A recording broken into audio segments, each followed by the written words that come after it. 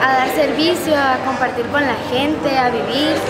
No va a ser como para ellos la ayuda, sino para nosotros y para darnos cuenta de que hay más gente que necesita ayuda pues y que nosotros con nuestro esfuerzo, nuestra ayuda, nuestra alegría podemos dar algo.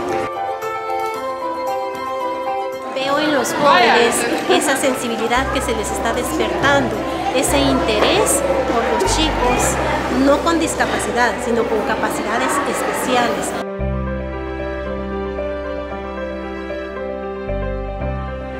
Porque es una institución que nos damos cuenta que no es como dinero y terapia, sino que es porque les nace. Entonces queremos aprender de eso para nosotros transmitirlo y el día que nosotros salgamos a la sociedad poder hacerlo.